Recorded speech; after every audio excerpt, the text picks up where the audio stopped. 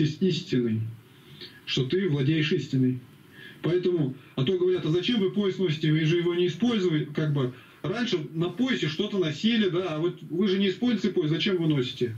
А ангелы зачем носят пояс? Зачем ангелам пояс? Им вообще не нужен. А почему они в поясе являются? Значит, нужен? Христос с поясом. По грудь. Ему тоже не нужно вроде как, но он же есть у него этот пояс. То есть, значит, есть в этом большой очень смысл. Припаяшься с истиной. Если воин идет на войну, желанием убить, то он отлучается наравне с умышленными убийцами на 20 лет. Восьмое правило Василия Великого. Но уже в IV веке ситуация меняется коренным образом. Когда христианство стало государственной религией, то церковь оказалась в неудобном положении. Царь без убийства людей не может управлять государством. Ну, правильно, как он будет управлять-то? А отлучать царя от причащения можно испортить с ним отношения и лишиться покровительства. Поэтому, дальше цитата, поборникам целомудрия и благочестия только робко советуется три года не причащаться христовых тайн. 13 правило Василия Великого. То есть, как... И это правило никогда не исполнялось. А войны стали прямо благословляться.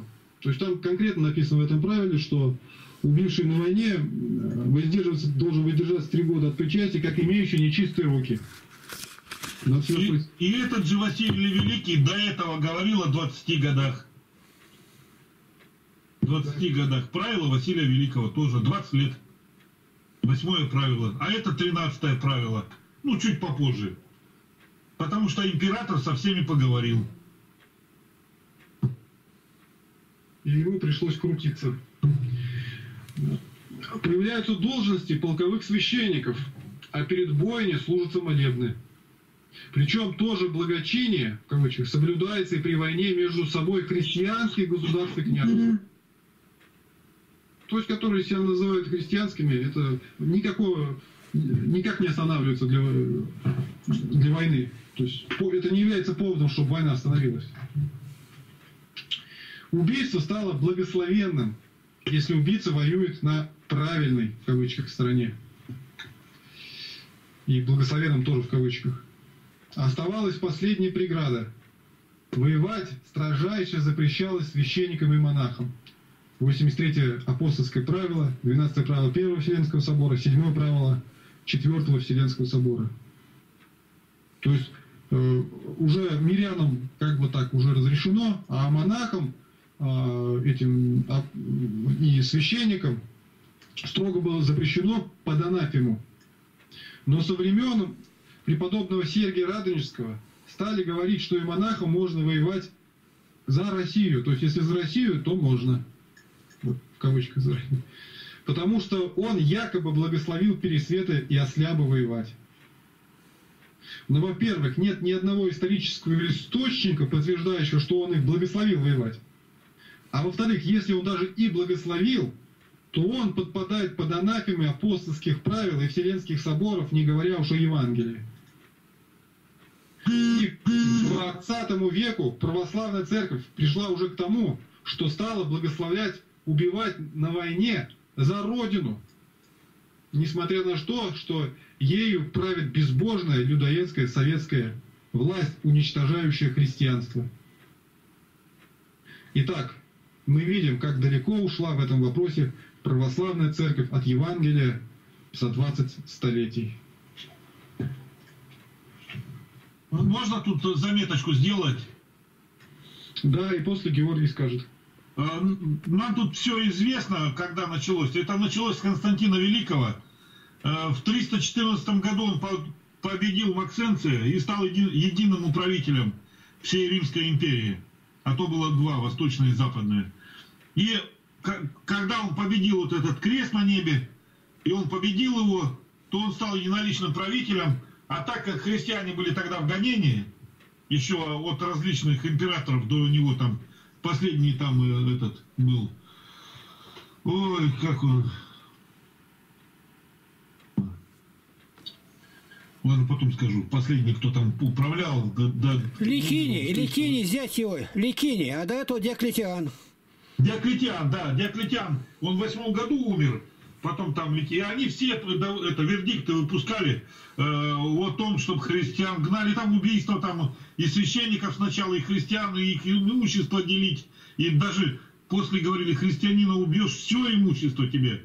То есть страшные были тогда э, вот такие выпускались приказы, указы. И в этот момент, э, э, когда он понял, что ну, победил-то крестом, ему надо было что-то делать, и он вердикт выпускает, который уравнял права язычников и христиан.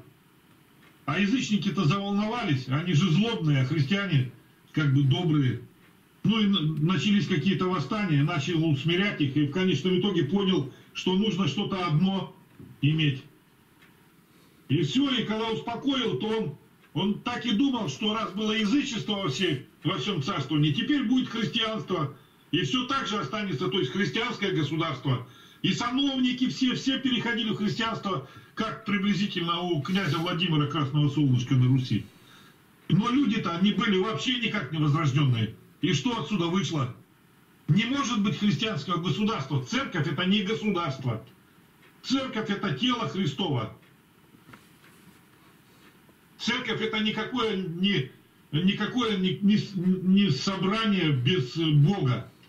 Это есть сам Господь церковь, вот в чем дело. И просто он этого не, до конца не понял, еще и крестился у еретика в конечном итоге. Ну и такое все недоделанное оставил своим, э, своим потомкам. Вот так. Невозможно защищать страну э, руками христиан, э, а страна, она, она не христианская. Вот так. И все говорят, а кто будет защищать? Ну, вы будете защищать, кто не уверовал во Христа, не родился свыше. Идите, защищайте. А эти люди нам не враги. Вот так. Все.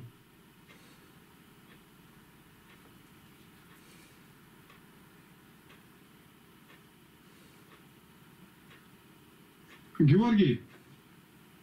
Ага, ага я у себя на занятиях, когда э, разговаривали, беседовали, я им тоже сказал про войну, что христианин не должен убивать. Они как поднялись, Отечество защищать и все такое прочее. Я объяснил про Отечество, что есть земное, есть небесное, и про Евангелие это все сказал. А потом еще я добавил от себя, я говорю, вот смотрите, Э, вот э, военнослужащие, которые служат в армии, идут э, на войну, защищают там а, родину, отечество, у них на шапках на голове, на лбу, в области лба на шапках что? Какой знак? Звезда.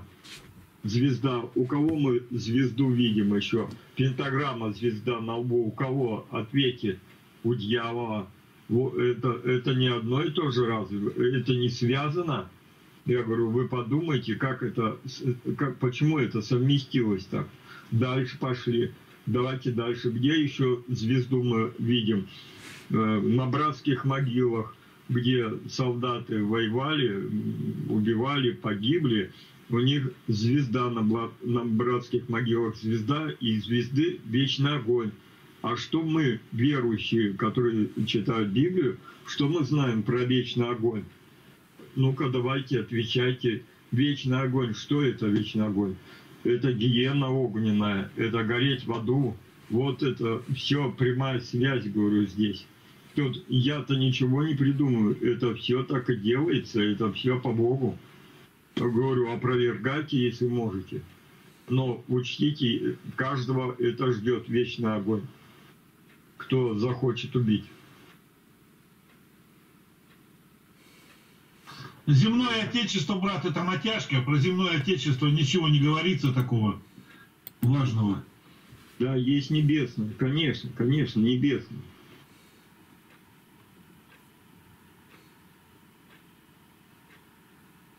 Отошел. Брат, там Игнат Тихонович руку тянет уже. Время, кон... время, время кончилось.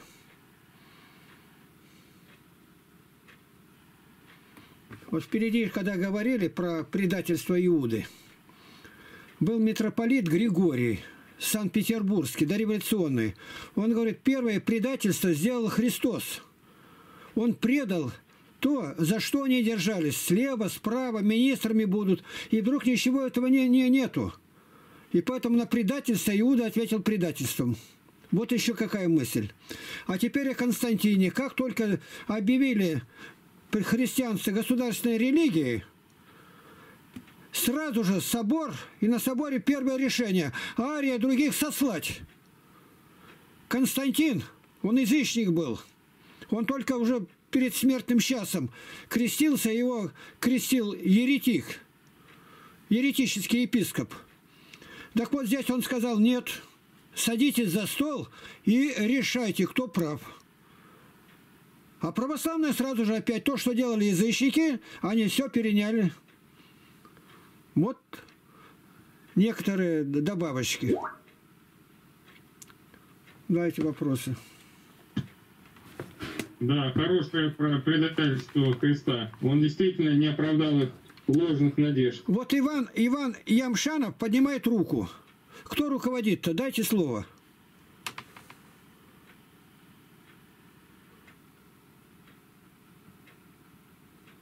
Да он не будет вопрос задавать, у него свое что-то, он почему-то в конце всегда начинает.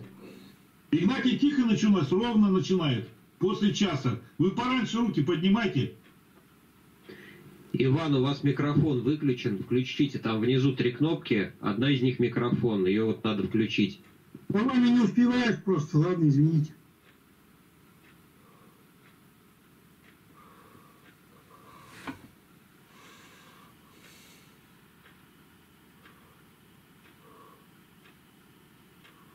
Сегодня было у меня общение с Михаилом Казиником. Он постоянно Библию употребляет в своих речах. У него 200 с лишним тысяч подписчиков на канале. И на телевидении да, выступает. И всегда не... Я ему говорю, вы звоните, хоть зайдите к нам. Он говорит, да я Библию лучше вас знаю, я 50 лет ее изучаю. И как начал мне пургу какую-то порочь, что Иуда, и все, кто распяли Христа, это настоящие друзья Божии, они же часть плана Божия исполнили. Их чуть ли не канонизировать надо. Какие они молодцы. Я говорю, а что ж тогда Иуд-то удавился, если он такой молодец-то? На это нет у него, понятное дело. Но что попало, выдумывают люди. Как страшно без того постоянно что-то.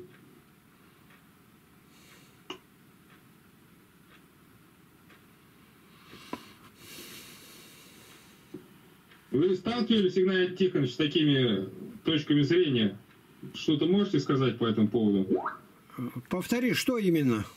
Повтори, что именно? По поводу того, что Иуда договорился, ну как мы у толкователя тут читали. Ну, бред, бредни пьяных старух. договорился Николай, с- Николай, бредни пьяных старух. Больше ничего нет. Аминь. Это слова Яна Златоуста.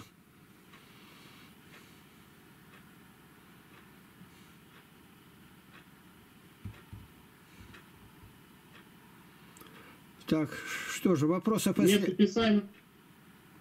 Вот мы искали, Игнатий Тихонович, искали место Писания. Подскажите, вот человек, который принял крещение и,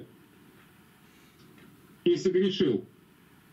Э, Там есть место Писания, где написано, что даже отпавших, то даже покаянием практически невозможно вернуть.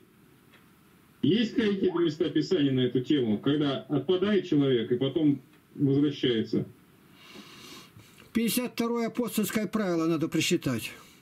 Кто-нибудь просчитайте. 51 Сейчас 52 прочитаю. Апостольское правило 51 52 Сейчас, так. 51 52 А, Если епископ или пресвитер или дьякон, или кто-либо из находящихся в списке священнического чина отказывается от брака, мяса, вина не ради подвига воздержания, но из того, что гнушается всем этим, забыв, что все весьма хорошо, и что мужчину и женщину сотворил Бог человека, и клевещет на творение Божие, хулит его, таково пусть или исправится, или будет извержен, или отлучен от церкви. Подобным образом мирянин. Это 51 Дальше. Если, 52 Если епископ или пресвитер не принимает обращающегося от греха, но отвергает его, да будет извержен, ибо он опечаливает Христа, сказавшего, радость бывает на небесах об одном грешнике кающемся. Вот и все. Вот и ответ. А что имелось в виду тогда Павлом, когда сказано? Когда слова. находится в этом, тогда нет жертвы за грех. Он непрерывно грешит, а покаяние уже ни, никакого э, слова не идет. Он женился незаконно, венщину оставил, а теперь с невенщиной живет. Это, к примеру-то, о чем говорится. Он не считает брак грехом, но утонул в грехе. Я хотел добавить немного, когда говорили о последней войне Константина. Последнее у него сражение было с Ликинием, с зятем. И тот, когда через Тибр переходил там с войсками-то, как-то конь под ним забунтовал и сбросил его, и он утонул. Это перед Максенсием, перед Диоклетианом. Диоклетиан-то он сам ушел. Его не извергали. Ну, это так, так к к вашему занятию. А здесь вот так. А. За стол. Ну, это евреям шестая Если Ну, непрерывно грешит, он грешит и не кается. Нет ни жертвы за грех, но некое страшное ожидание огня, готового пожрать противников. Вот об этом апостол Павел говорит, а не то, что а тут прямо говорится. И речь идет о правилах. И правила это не для мирских людей, а для церковных. А он не принимает, а ты согрешил. То он извергается из сана. Он должен принять, наложить эпитемию.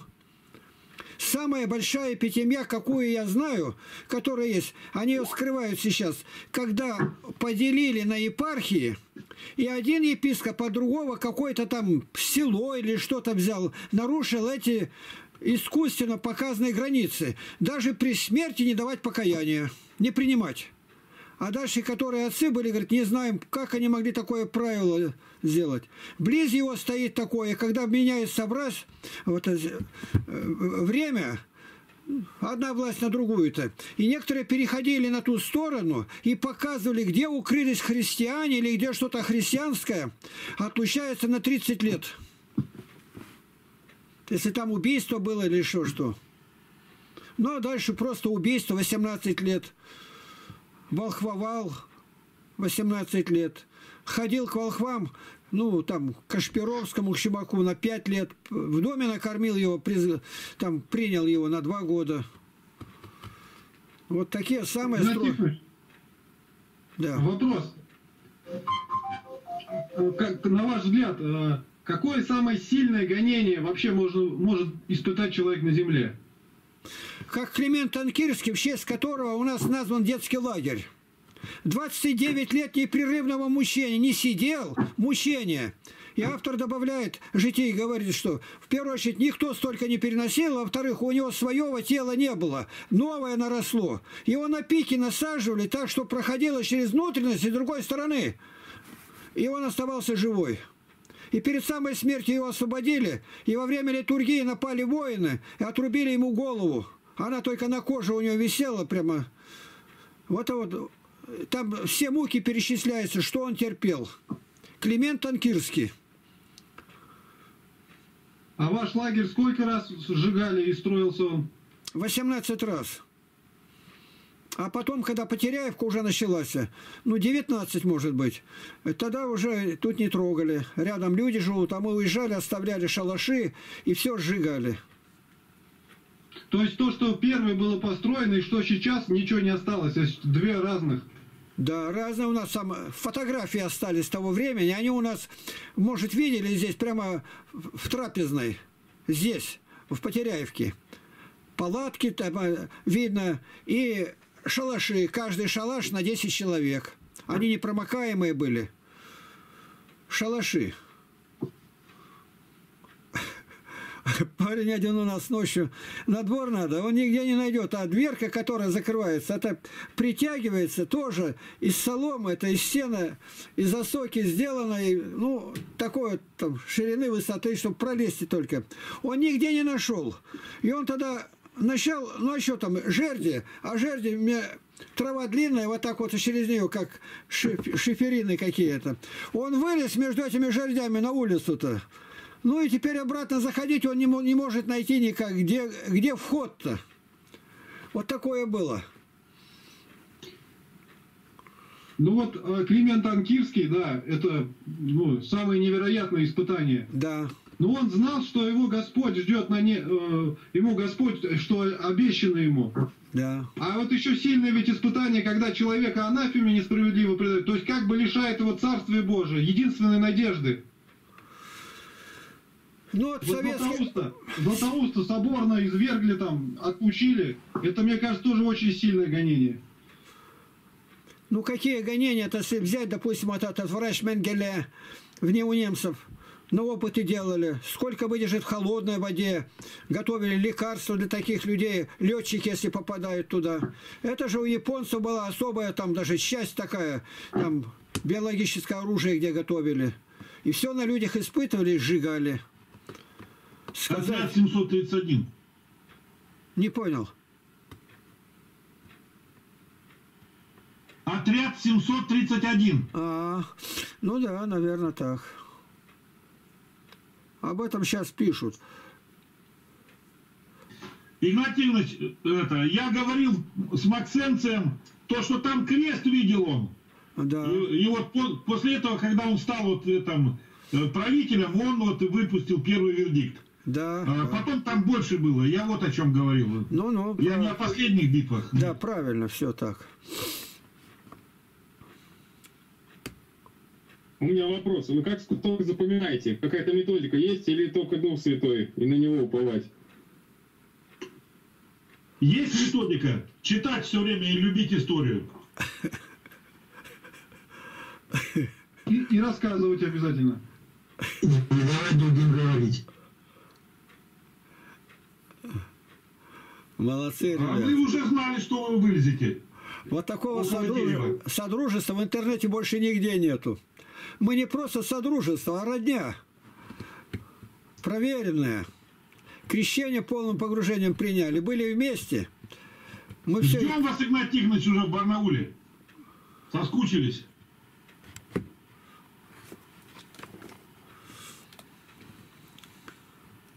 Давайте вопросов. Если нету, то еще время, 15 минут, вы можете еще продолжить занятие. Иван Емшанов у нас есть, он сейчас нам скажет что-то. Сейчас Слышно меня, да? скажете. Да, да. Сейчас один вопрос я кратко задам и скажете. Э, По начитке вот, я понимаю, что вы, скорее всего, Игнатий Тихонович, вы когда начитывали, вы это читали уже не первый раз. Ну так это или нет, вы мне скажите, это первый момент. Второй момент. э, Я читаю, когда, если начитываю, ну как бы, я просто камеру включаю, я не читаю это начиткой. Ну просто думаю, что мне как будто бы жизни не хватит, если я буду начитывать там сам три раза прочитав до этого. И поэтому сразу включаю. Вот делать это или не делать все-таки. Думается, что лучше делать. И главный вопрос это насчет стихотворений ваших. Я все не могу никак в голову себе объяснить это. Так, теперь... Каким образом у вас там столько мест писания напротив каждой строки? Вы э, вам это сразу высвечивалось или как можно это удержать вообще в голове? Столько стихов и везде места писания указаны. Ну, понимаешь, ты Как это происходило? три, три вопроса задал. Так мне уже не ответить на три-то. Времени не хватит. Ну, вот по порядку давай, с, с обратной стороны. Вот стихотворение, допустим. Да, так. Во время, когда я молюсь, а у меня рядом бумага, пачки лежат. А мы молимся, и у меня вот как бы проплывает строка. Я не вижу ее, я ее чувствую и произношу со знаком препинания, какой нужен. Вот. Я когда дорога иду, вот размышляю, не просто так, что я вижу, я- думаю конкретно, слагаю, допустим, проповедь на такую-то тему, которую что перед собой вижу. Не, на- не, не сказанные проповеди, у меня там их, может, десятки тысяч.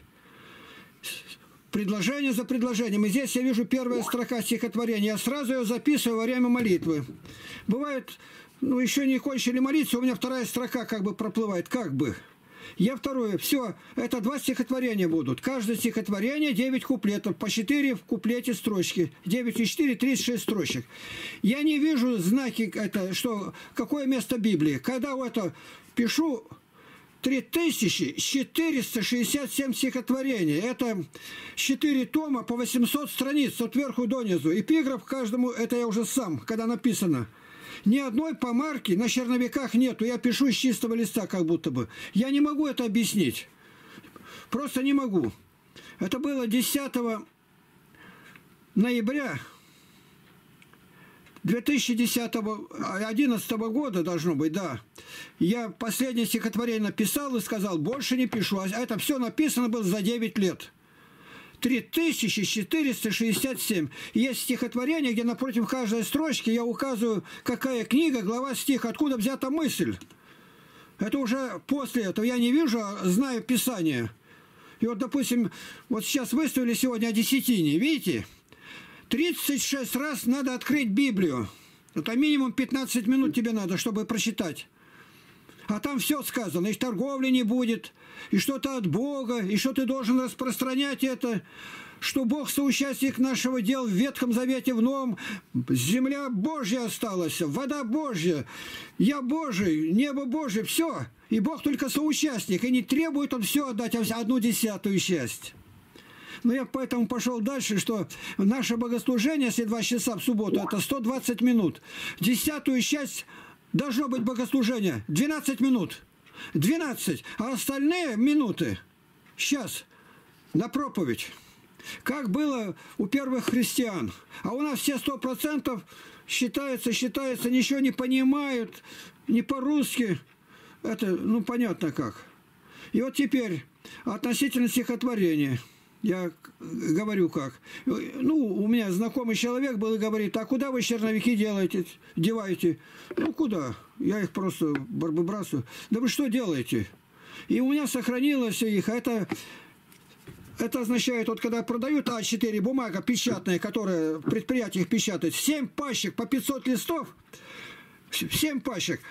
Сверху донизу карандашом стихотворение написано. Еще сверху несколько там есть. Это невозможно. Люди, не понимающие, спрашивают, ну а что это за цифра, много или нет? За всю жизнь сколько написал Пушкин, Лермонтов, Некрасов и Александр Блок. Так это несколько меньше еще у них. Вот и все. И черновики лежат у меня, есть, ну, я не знаю на сколько, может, на 2000 стихотворений. Ни одной помарки нету, это черновики. Пушкин там перечеркивает. Так. Я попробовал так и вернулся к тому, к первому варианту. Другой раз хочется подправить, ничего не получается. Необычно это. Я в литературном институте, когда считал, там по одному разрешали считать стихотворение, а меня заставили четыре. Я на память просчитал. Лева Шанин вел занятия. Ну, это, видишь, я не, ничего себе не приписываю. Вы потом добавляли, да? Места Писания потом сами добавляли. Я доб добавлял места Писания потом. Когда уже стихотворение написанное, проходит, может быть, время, день-два, когда у меня время свободно, я сажусь и напротив каждой пишу, какая глава, какой стих, какое... У меня ни симфонии нет, ничего, я просто помню. Вот у меня Надежда Васильевна, она учительница. И она знает правила какие, а пишет все равно с ошибками. Где запятую поставить, она правила, я правил не знаю ни одного, я просто запоминаю все. Вот как считаю псалтырь, где знаки стоят, я в следующий раз это переписываю и там ставлю знаки. Они у меня остаются здесь. Без правил. И ошибок практически мало. Вот я знаю, тут у нас вот Ирина Кондратюк, вот, Здесь помогала Ксения Юрова, там, видимо. Там много что найдено. Это корректоры были другие, я не был там корректором. Ну, все равно выправляются. Тут сотни там запятых, где «е» надо «ё», «её», «моё». Для памяти, кто не знает, когда Александр Исаевич Солженицын – узнал, что готовится полное издание его произведения, он сказал, условие одно, где есть, чтобы все перевели на «ё». Почему буквы «ё» исчезли? И в Библии буквы «ё» нету. Это ничем нельзя объяснить. Я нашел только одно объяснение. Это для того, чтобы выловить всех шпионов, которые из-за рубежа. Им никогда не запомни, где «е», где «ё». Только для одного. Там какой еще вопрос-то был? Про начитку. Э, с первого раза Ага, да, да, да, да, да, да, да, я понял. Вот я насчитывал, 80-е годы насчитал примерно 50 томов. Первое, конечно, Библия. Это не просто считать, а начитывать. Вот включаю я, э, ну, размер катушки 375 метров, 8 часов 20 минут. Каждая дорожка, 4 дорожки. 2 часа 5 минут. 2 часа 5 минут я не могу остановиться. Надо просчитать с выражением.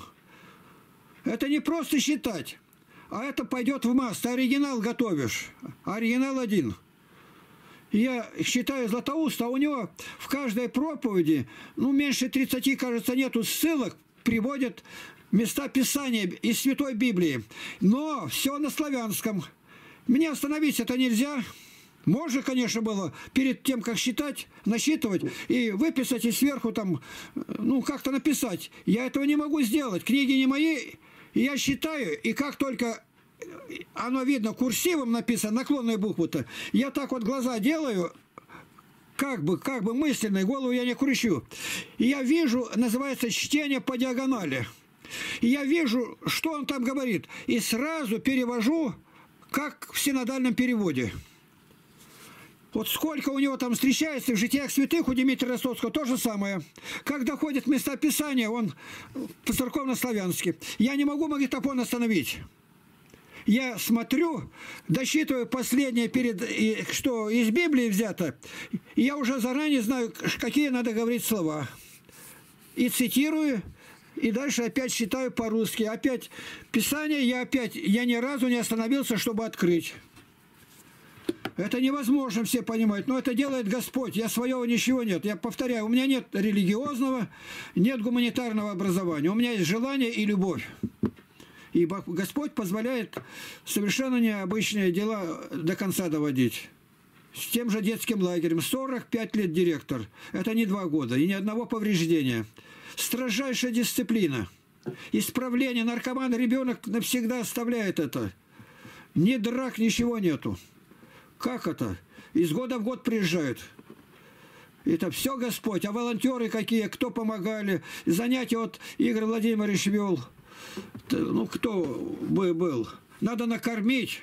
Должны быть продукты, охрана, ночью, как?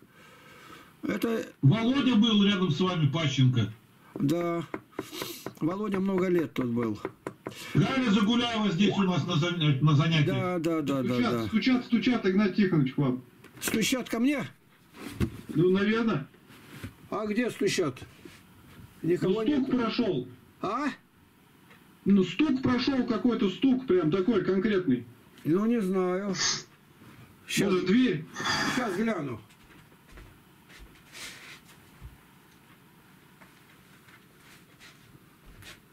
Никого не видно нигде. У меня заперта на ночь уже. Веранда заперта.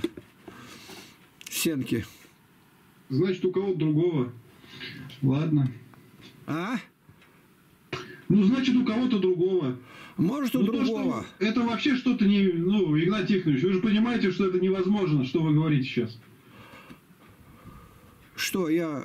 Ну, невозможно вот то, что вы говорите, что переводить все места с церковно-славянской на русский, это невозможно делать. Ну, 12 томов я насчитал. Это же 5 томов добротолюбия, точно так же. И 12 томов жития святых. Григория Диченко также насчитывал там я не знаю, на каком оно э, места писания. Четыре тома. Каждый том где-то по 800 страниц. Это э, перед тем, как насчитывать, я постился, поехал к архиерею, был Докукин, фамилия его, архиепископ Гедеон, благословился. И тогда насчитывал. Когда я насчитывал, у меня как тон студия была, вся комната, вместе, как зайдешь, откроешь дверь, все, больше ничего нету. Все здесь, и туалет в одной комнате, тут и прием гостей, тут и мастерская, тут тон студия на 12 магнитофонов, магнит... маяк 205 большие, как этажами. Тут же печатная машинка. И тут же я насчитываю, очень хороший Гаврилов был отец, сделал мне вот так вот, э, и два микрофона перед головой. Это перед ртом. И вот так все это было. Вся комната 12,8 квадратных метра. Примерьте к своим. И вы увидите, это у меня сколько было? 11 человек могли ночевать, и ни одного на полу не было. Все везде этажами. Вон сейчас завидать, вот этот этажа, что вот видно где, вот я показываю. называется палати. Ну, можно сказать, нары, там как угодно. Ну, палати звали. Вот так. Нельзя было там ни кашлянуть, ничего, когда я считаю, э, матрас вешал одеяло на окно, одно окно. И все, 12,8 квадратных метра. Все, Надежда Васильевна тут тапочки шьет, мастерская тоже. Тут же трапезная, тут же столовая, кухня, все в 12 метрах. Вот поэтому я сейчас, сейчас где живу, это скворечник называют, тоже небольшое. Ну, раз, два, три, четыре, пять, шесть. Шесть кроватей. Шесть. Если когда переночевать надо, два человека на каждую можно ложить, они широкие, специально. Печь я сам делал. Ну, вот так. Иван Яшманов, ну скажите, что вы хотели сказать-то? Да вот по поводу Иуды, там, помните, вот, его же сатана вошел в него именно во время Тайной вечери. Он это, сребролюбие. Вот. Видимо, сребролюбие в то время поощрялось, видимо, а, а то, что вор, они же платили жертвы каждый за свои грехи там три раза в год.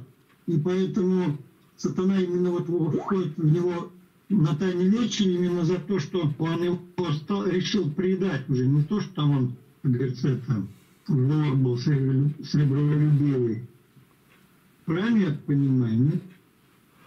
Самое трудно насчитывалось, это Симеон Новый Богослов, Исаакин Сирянин. Обычно вот я говорю, два часа пять минут без остановки. Их, если насчитывал, труды, это пять томов добротолюбия, больше 15-20 минут я не мог. Надо просчитать с выражением. Я должен проникнуть в суть, что они там говорят. Я никогда днем не ложусь спать. Здесь приходилось ложиться. Единственный случай, ну я один. А кто-то ко мне там приготовит, там на теплой воде мед размешанный, откроет дверь, поставит к порогу-то. А я когда пере, уже другие ставлю катушки-то, в это время вижу, что тут принесли что-то поесть. Как-то мама приехала, а приехала из Фрунзе, зима, и она кашляет, она под подушку голову засунет. И нет, я, сынок, пойду на вокзале, там побуду до вечера, когда тебе на работу идти. Чтобы здесь не отобразилась кашель-то, пленки крутятся. А крутились на 250, 375 и 525 метров. 525 это 12 часов записи. И мне надо было оригиналы сделать на все три размера. О, сколько было всего. Это выразить нельзя. Батюшка позвонит. Как дела-то? Да ладно, на полу. На полу это значит спать не ложусь а сутками неделю, только сидя. И как только э, переписка идет, и уже последний ракорд называется, первый белый приклеенный ленточкой в катушке, а последняя с той стороны красная. И она тогда захлопает, и я сразу просыпаюсь. Я слышал хорошо, перезарядил и сразу опять заснул. А Исаака Сирена считал, когда я Семена Нового Богослова, я выпью настой, мед, и сразу ложусь. Минут 15 отдохнул, тогда начинаю считать. Полностью, как будто у меня мозгов нету, на вынос. Чтобы просчитать с выражением. Вот какое дело. А, архиепископ Василий Брюссельский писал, хорошо знал греческий язык Феофан Затворник. И он, когда переводил много, и стал переводить Симеона Нового Богослова – и он остановился. И народу нельзя давать это. Почему? Все поймут, что они неверующие. Я у него это впервые прочитал. Не решился перевести для народа. Под таких и говорили, что это ангел во плоти или человек на небе. Их характеристика. Исаак Сирианин. Вот два, которых я знаю – а Златоуста легко считается, Василий Великий, там, Ефрем Сирин, Игнатий Бринчанинов. Я это все насчитывал. В общей сложности примерно 50 томов. По 700 с лишним страниц. В это время у меня на сон уходило два с половиной часа. Дальше уже не потянул. А я помню, Игнатий Тихонович, я помню, как вы рассказывали что когда засыпали, вы открывали окна. Нет, да какие окна? Одно окно. когда, э, ну, большие стекла такие, это на, на, на, и там ставили вентилятор. Это он, Леонид Ильич, звали Алеша его, Речкунов, Гаврилов, отец. И на улицу, и там люди-то не понимают, что за запах такой. А ферромагнитный слой с пленки-то, когда слушать на 4,7 сантиметров в секунду, а записывает 19 сантиметров три скорости, и сразу две дорожки в одном направлении, две в обратном, и 10 магнитофонов. Одной кнопкой все срываются, одной кнопкой останавливаются. А он сделал мне доильный аппарат, называл. Вот и дышали этим еще. В частном домике, в этой квартире, несчастный это барак такой. И вот сколько удалось сделать. Вот я мне надо насчитывать. Достал. Я не просто насчитывал. Я вот, допустим, 12 томов «Жития святых» – это январь, февраль до декабря. Хотя счет идет от марта у них. Но на каждый день 365 дней. Святые бывает первый век, пятый, пятнадцатый. Так я из всех выбрал сначала первый век насчитал. С новой катушки, ну, допустим, первый век, там можно посмотреть, сколько там, пять катушек или сколько. Второй век, третий начинается с первой дорожки, а которые там места не дописаны были. Я туда записывал, находил святых отцов, про которых прочитал их труды. То есть впервые в мире получилась жития, развернутая картина церкви за 20 столетий. По числам, по месяцам, по годам. Первый век, второй век, третий, четвертый. Ну, я знаю, тут Вячеслав э, занимался этим, он э, знает это. И составить каталог на все. Вот на сайте э, был-то у вас был каталог только, а мы еще сделали, что теперь нажимаешь на это имя святого и сразу на жития попадаешь. Да, и теперь у каждого показана цифра, сколько страниц жития. Ее книг нету, а там стоит графа одна, сколько страниц. Вот самая большая, 51 страница про Серапима Саровского. Про апостола там 18, Петра и Павла на двоих. Это понятно, куда уже уклон пошел. У меня вопросы есть, ни один священник не ответит. Вот бывает какое? Мученик, исповедник, там ну, разные названия там есть. А вот есть один человек, его прозвали апостол для апостолов. При жизни апостолов нашелся человек, который у апостолов, для них сделался апостолом. И церковь так и говорит, апостол для апостолов. Кто знает, кто это? Женщина. Кто удостоился? Один, чел... один человек на 1173... На 1173 жития только один человек удостоился этого звания. Кто? Мария Магдалина. Абсолютно правильно.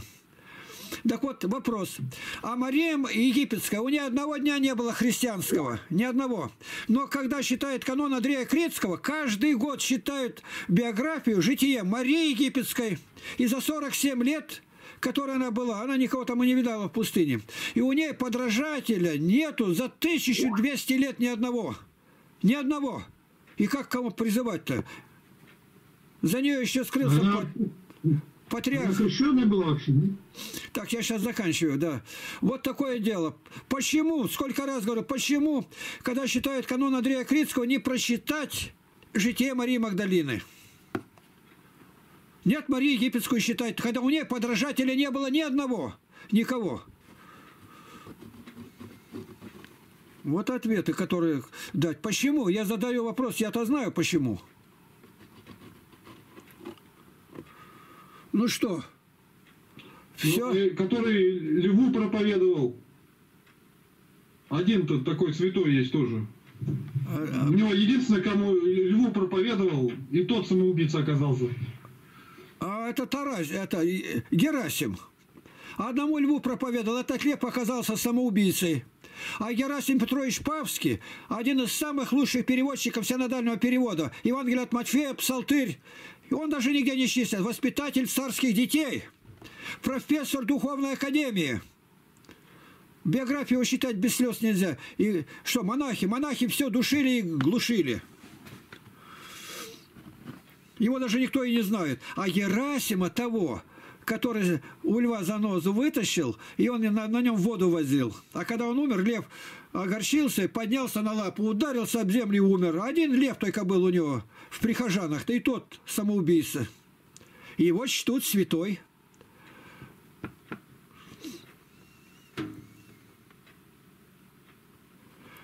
Наверное, надо молиться уже, все время-то ушло. Игнатий Тихонович, Ай. а вам даже мухи не повинуются. Все время долбить приходится. Нету святости у вас, нету. Нет, так они новые, тех-то нету уже. Они новые залетают и не знают. Пока ознакомятся, а я уже колощу их.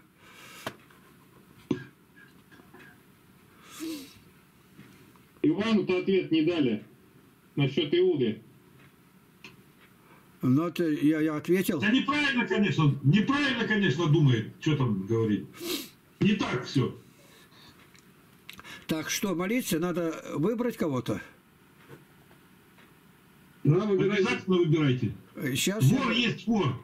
Так, Сребролюбие корень всех зол. так. А а вот Георгий Байдуков здесь?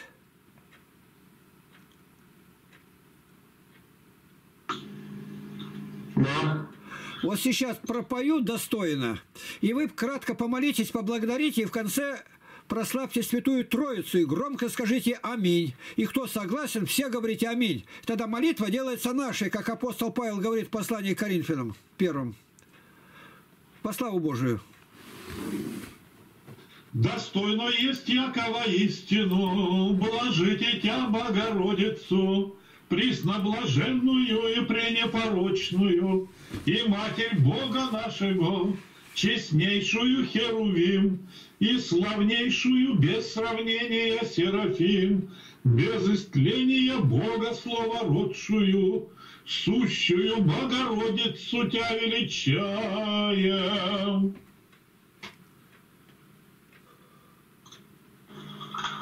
Господь Содержитель, слава Тебе! Благодарю Тебя, Христе Божий, за возможность слышать Слово Твое святое и внимать крепким в вере братьям. Славим Тебя, Боже, за угодников Твоих святых, отцов нашей церкви, труды которых доступны и удобно понимаем, как никогда. Ты указал мне недостойному истинный путь и не покинул меня беспечного. Велика милость Твоя на нас, грешных. Тебе, Боже, слава, честь и поклонение. Отец, Сын и Святой Дух. Аминь. Аминь. Аминь. Спасибо Христос. Аминь. Аминь. Спасибо Христос.